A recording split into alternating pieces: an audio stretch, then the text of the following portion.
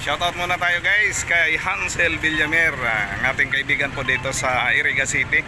Bali, sasauli po natin yung kanyang cellphone. Nahulog yung kanyang cellphone kanina. At ah, nakita po nung aking ah, pasahero. At ah, sa ngayon po ay babalik na po natin ang kanyang cellphone ay ano ito? Yung unit? Oppo. Ayan, bali Oppo ano.